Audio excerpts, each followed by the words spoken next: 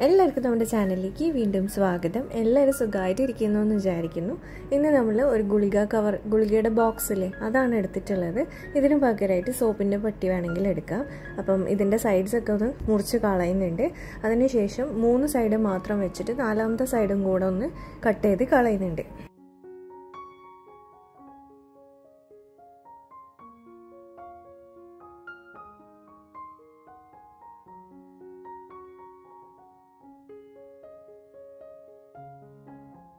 ഇനി നമ്മൾ ഈ രണ്ട് എഡ്ജ് ഇതുപോലെ ഇങ്ങനെ ഒരുമിച്ച് പിടിക്കുക. എന്നിട്ട് മാസ്കിംഗ് ടേപ്പ് വെച്ചിട്ട് അതൊന്ന് ഒരുമിച്ച് ഒട്ടിച്ച് കൊടുക്കുന്നുണ്ട്.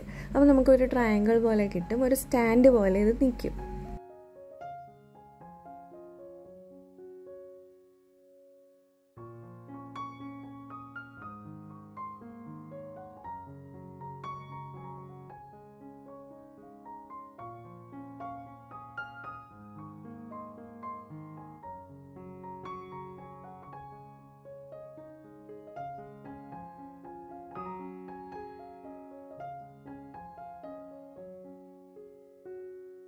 ഇനി നമ്മൾ ഇതിന് ഒരു പിങ്ക് കളർ പെയിന്റാണ് അടിച്ചു കൊടുക്കുന്നത്.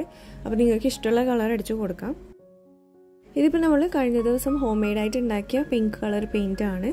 ആ വീഡിയോ കാണാൻ താല്പര്യമുള്ളവർ ഇതേ ഇപ്പോൾ കാർഡിൽ ആ ലിങ്ക് വന്നിട്ടുണ്ടാവും. അതിൽ ക്ലിക്ക് ചെയ്താൽ ആ ഒരു വീഡിയോ കാണാൻ പറ്റും. പെയിന്റ് അടിക്കുന്നതിന് പകരം നമുക്ക് വേണമെങ്കിൽ കളർ പേപ്പർ ചുറ്റിയെടുക്കുകയും ചെയ്യാം. അപ്പോൾ രണ്ട് സൈഡിലും അങ്ങനെ ചെയ്തതിന് ശേഷം നമ്മളിത് ഉണങ്ങാൻ വെക്കുന്നുണ്ട്. ഇനി നമ്മൾ ഒരു എ ഫോർ പേപ്പർ എടുക്കുക. എന്നിട്ട് ഇതുപോലെ ഇങ്ങനെ മൂന്നായിട്ട് മടക്കി കൊടുക്കുന്നുണ്ട്. അതിനുശേഷം അതിനെ നാലായിട്ട് മടക്കുക അപ്പോൾ നമ്മൾ ആ ഒരു എ ഫോർ പേപ്പറിന് പന്ത്രണ്ട് പീസാക്കാനാണ് പോകുന്നത്.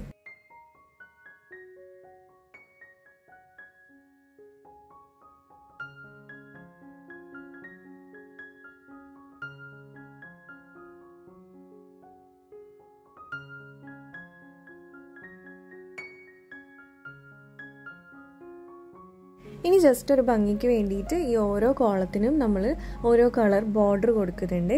ഇഷ്ടമുള്ള കളർ വെച്ചിട്ട് ബോർഡർ ഇങ്ങനെ വരച്ചിട്ട് നമ്മൾ ഇതിനെ സെപ്പറേറ്റ് ആയിട്ട് കട്ട് ചെയ്ത് എടുക്കുന്നുണ്ട്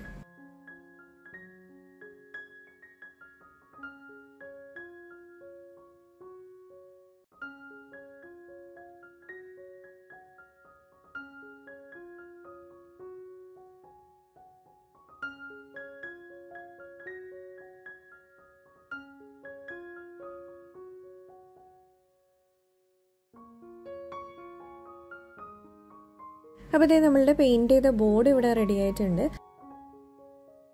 ഇനി നമ്മൾ കട്ട് ചെയ്ത് വെച്ച ഓരോ പീസസിലേക്കും ഓരോ മാസമായിട്ട് ഒട്ടിച്ചു കൊടുക്കുന്നുണ്ട്. അപ്പോൾ ഞാനിപ്പോൾ കാലണ്ടർ പ്രിന്റ് എടുത്തിട്ടാണ് ഒട്ടിച്ചത്. നിങ്ങൾക്ക് എഴുതിയെടുക്കാവുന്നതേ ഉള്ളൂ. ഇനി ഇതിനെ എല്ലാം കൂടെ ഒരുമിച്ച് പിടിച്ചിട്ട് നമ്മളൊന്ന് ഹോൾ പഞ്ച് വെച്ചിട്ടൊരു ഹോൾ ഉണ്ടാക്കി കൊടുക്കുന്നുണ്ട്.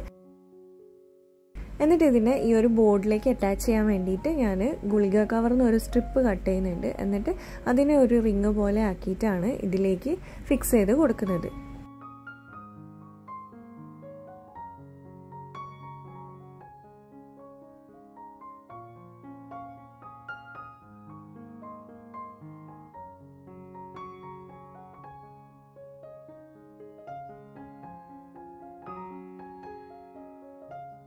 ആദ്യം ഞാൻ ഒരു റിങ് മാത്രമാണ് അറ്റാച്ച് ചെയ്യുന്നത് പക്ഷേ ഈ പേപ്പേഴ്സ് ഇങ്ങനെ കുറച്ച് ചെരിഞ്ഞ് നിൽക്കുന്നതുകൊണ്ട് ഞാൻ ഒരു ബൈൻഡും കൂടെ ഒരു റിങ്ങും കൂടെ ഉണ്ടാക്കിയിട്ട് ഫിക്സ് ചെയ്ത് കൊടുക്കുന്നുണ്ട്. ഇപ്പം നമുക്ക് പേജസ് കീറി കളയാണ്ട് തന്നെ പേജസ് ഇങ്ങനെ ടേൺ ചെയ്ത് വെക്കാൻ പറ്റുന്ന രീതിയിലുള്ള ഒരു കാലണ്ടറാണ് നമ്മൾ ഉണ്ടാക്കിയിട്ടുള്ളത്. ഇനി നമ്മൾ ആ ബാക്കിയുള്ള സ്പേസിൽ ട്വന്റി ട്വന്റി ഫോറിന് എഴുതി കൊടുക്കുന്നുണ്ട്. പിന്നെ ഇഷ്ടമുള്ള ഒരു ഇമേജ് കൂടെ ഒട്ടിച്ചു കൊടുക്കുന്നുണ്ട്. ഇപ്പോൾ ഇതേ നമ്മളുടെ മിനി ഡെസ്ക്ടോപ്പ് കാലണ്ടർ റെഡി ആയിട്ടുണ്ട്. വീഡിയോ ഇഷ്ടമായിട്ടുണ്ടെങ്കിൽ ലൈക്ക് ചെയ്യുക. എന്തായാലും ഒന്ന് ട്രൈ ചെയ്ത് നോക്കുക. നമുക്കിനി അടുത്തൊരു വീഡിയോയിൽ കാണാം. അതുവരെ ബൈ